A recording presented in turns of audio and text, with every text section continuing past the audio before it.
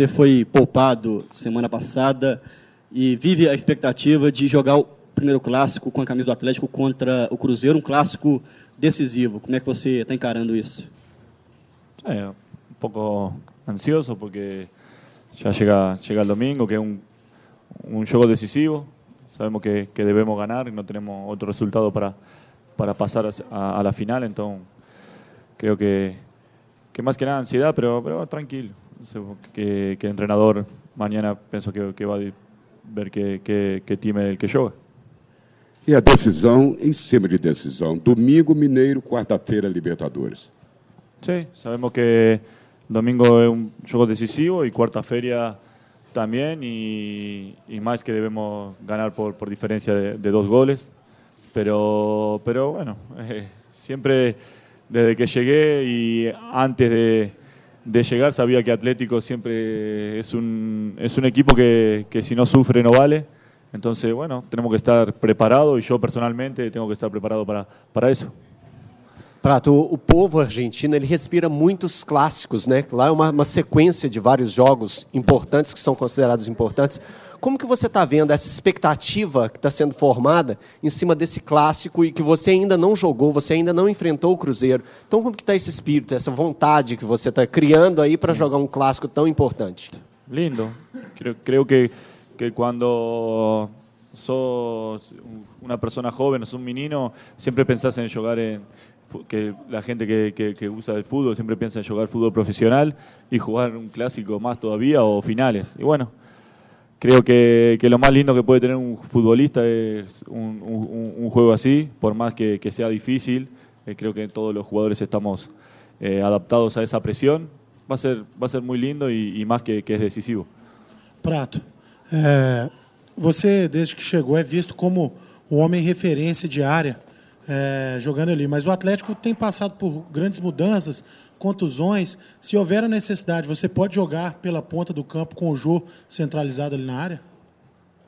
Isso deve perguntar ao treinador. Eu vengo de, de jugar de, en, en Vélez de, de, segunda punta, no de referencia, de, más de, de, media punta, y también lo hice por afuera, así que no, no tengo problema y, no, y no, no me es incómodo pero, pero creo que, que el tema táctico y el tema de, de, de, los jugadores en campo ya es, eh, es una pregunta que hay que hacerse al entrenador, no, no, no a mí, porque yo estoy a, a disposição de, de lo que ele decida.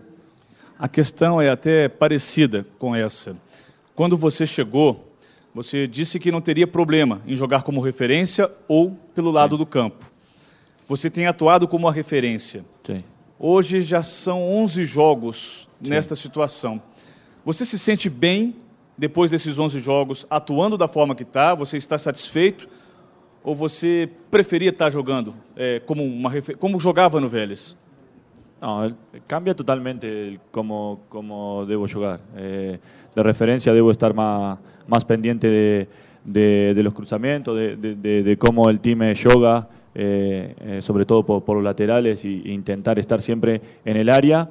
Y cuando vos juega más atrás eh, debe, debe participar más, más del juego. Entonces, eh, yo estoy muy cómodo jugando de referencia, pero si me toca hacerlo de la manera que lo hacían Vélez, también estoy cómodo. Eh, el problema es que si yo juego de referencia y cuando viene un cruzamiento de uno estoy en el área, ahí estoy haciendo las cosas mal. Entonces, debo, debo saber que cuando juego de referencia voy a tener menos contacto con, con, con, con el balón o, o, con el juego y voy a tener voy a tener más obligación de estar en el área cuando, cuando el team haga, haga cruzamiento y eso es lo que intento hacer. Por eso también hay veces que parece que no toco la bola, ¿no? pero sobre todo porque intento estar más, más cerca del área. O Prato, é, times e jogadores argentinos são sempre considerados mais aguerridos, é, times mais voluntariosos e também com técnica. E você acredita que o Atlético joga um pouco sob pressão nesse clássico contra o Cruzeiro e essa característica de não desistir tão fácil dos, dos argentinos em alguns momentos, em algumas competições, isso te ajuda? Você acha que esse tipo de jogo te agrada, jogar sob essa pressão? Sí, a mí, a me agrada, a mí me gusta y, y sobre todo, como dije antes, cuando más cuando es un clásico, eh, cuando es un clásico decisivo y tenés que ganar, eh, sea creo que brasileño o argentino, sale las ganas y, de no desistir nunca, sale de adentro, de uno mismo. Y creo que este partido va, a ser de eso. Sabemos que, jugamos de visitante y es un, partido difícil, pero sabemos que también es un, es un equipo que, no desiste nunca y, creo que, eso es lo que nos caracteriza a Atlético Mineiro aquí, que, no desistir nunca y siempre pensar en, que se puede ganar siempre. Prato, eh, você já jogou na Argentina, no Chile, na Itália, agora no Brasil. Qual a comparação que você faz em relação à arbitragem dos países onde você já jogou com o futebol brasileiro? Porque a arbitragem no Brasil é sempre uma coisa muito polêmica, muito questionada, toma conta dos programas de TV, com hum. comentaristas. Qual comparação ah. você faz? Sempre na Argentina intentei não, não falar de, de, de los arbitrajes. Eh, es muy difícil. Si nosotros tenemos presión, ellos también tienen, tienen mucha. Entonces creo que, que a veces se equivocan y cuando se equivocan en contra del equipo que, uno está jugando, también da un poco de, enojo, pero, pero hay que estar tranquilo y saber que, depende solo de nosotros y no de lo que, de lo que haga un árbitro, que, eso, más allá de que pueda desfavorecer por momentos, eh, el que gana los partidos es el equipo y no, no un árbitro. Prato, muito se fala é, há algum tempo sobre a, o calendário apertado, né, o intervalo de jogos. O Cruzeiro jogou contra o Atlético no domingo e na terça-feira já estava em Buenos Aires. Enfim, esse desgaste físico, você, nos outros clubes por onde passou, já tinha passado, enfrentado um calendário tão apertado assim como no Brasil? En, en Vélez, previo, previo la Copa del Mundo, fue, fue la Copa Libertadores también, fue muy apretado, de jugar cada tres días prácticamente todo el, todo el semestre si, si pasás de ronda, entonces hay que estar eh, con la cabeza muy fuerte, adaptado y saber que hay que descansar y jugar. No, puede hacer otra cosa que, descansar y jugar, sobre todo cuando juega cada tres días. Cuando tiene una semana larga, sí intentar ajustar cosas, pero si no, hay que, hay que descansar y, estar preparado para, para, los juegos. Mas es difícil esa adaptación, esa recuperación. Sí, pero lo más lindo para el jugador es jugar. O sea, si, si le preguntas a cualquier jugador, quiere jugar cada tres días y, solo descansar y, no entrenar y, jugar, sino más jugar cada, cada tres días, que, que, es lo más lindo que tiene este deporte. Prato, quanto que foi ruim para você assistir o jogo Atlético e Cruzeiro só de fora e não poder fazer nada em campo por duas vezes? Muy malo, pero pero bueno, fueron ocasiones que primero estaba machucado y bueno, después el entrenador eh, decidió eh, por un tema físico eh, bajar un poco eh, la carga de haber jugado tantos partidos después de, haberme machucado. Entonces, eh, siempre es difícil ver cualquier partido de afuera, pero más, más un clásico. Entonces, espero que, que el domingo pueda poder estar ahí eh, presente. Prato, é, quando você tem atuado, o Atlético tem conseguido uma média de gols superior a quando você está fora. Você considera uma, uma coincidência ou, quem sabe, quando você não marca ou está fora, você acredita que a equipe tem um rendimento pior mesmo?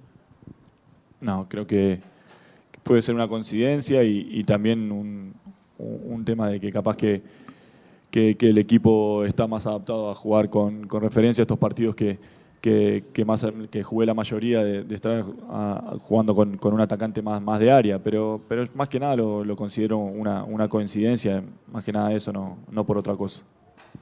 Prato, todo clássico envolve um pouco de mistério. No jogo passado, o Levir não quis dizer quem jogava, quem não jogava. Uhum. Você já estava praticamente fora do jogo, chegou aqui e praticamente disse que ia jogar.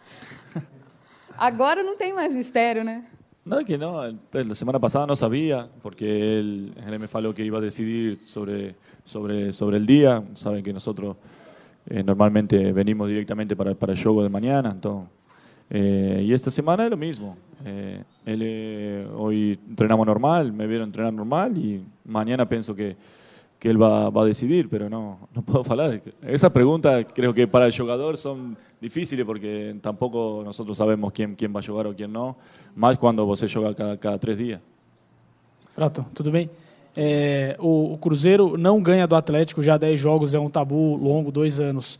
Como usa isso a favor dentro do campo? Se você já passou por uma experiência dessa de uma sequência grande sem derrotas para o rival?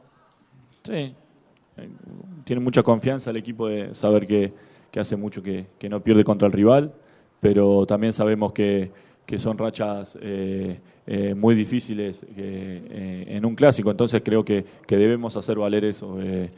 creo que cada vez que entramos a, a, los partidos o, lo que se ve en los clásicos es que somos un equipo que, que, gusta de jugar clásico, que, sabe hacerlo, entonces debemos demostrar de nuevo eso el domingo, saber que, la racha no es coincidencia, que, hace dos años que, estamos, que, el equipo está muy bien jugando los clásicos, esperemos que, el domingo siga siendo así para, para alegría nuestra y para alegría de, de toda la torcida. Prato, você pode descrever como é que foi o seu desempenho em clássicos pelos clubes que você já passou na carreira?